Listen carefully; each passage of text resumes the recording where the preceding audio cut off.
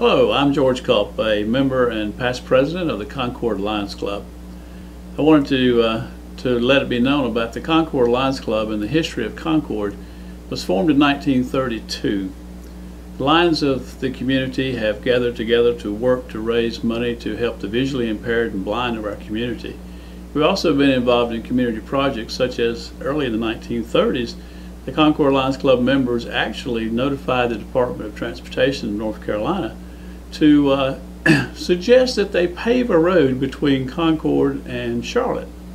That's the kind of activity this community has seen through the Lions Club and the work that we've done with members like Steve Medlin, who has helped us raise money for visually impaired by selling brooms and through fundraising efforts.